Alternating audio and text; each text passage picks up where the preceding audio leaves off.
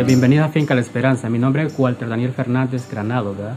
Nosotros, eh, mis padres, eh, desde tiempo ellos solo se han dedicado al café, ¿verdad? Gracias a la PAOL, estamos asociados a la PAOL y a Socodevi porque hemos podido avanzar con, con, el café, ¿verdad? Y ahora con los cafés especiales que los ha abierto las puertas internacionalmente.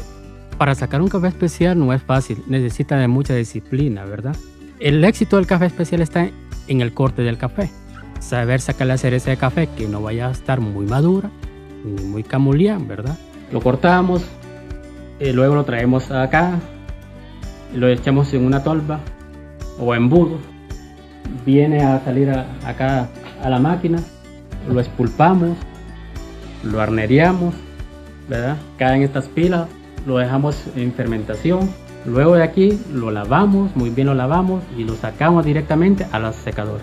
Aquí va a estar, si hace sol, entre 8, 10 días, 12 días. Pero si no, se pasan 15, 20 días.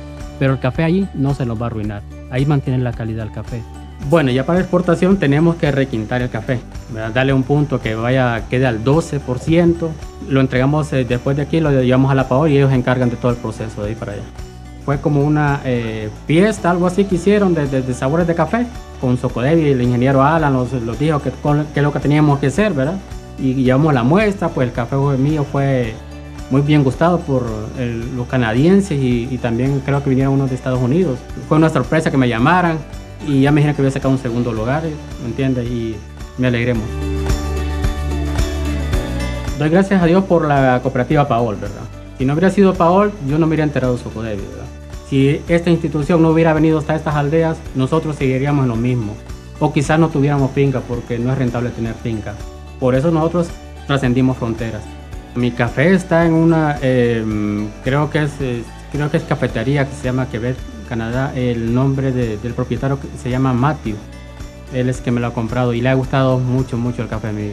Variedad de café hay un montón, ¿verdad? Yo en mi finca solo tengo dos variedades de café. Tengo el Parinema y tengo el 90 el que me ha dado el éxito es el Parinema.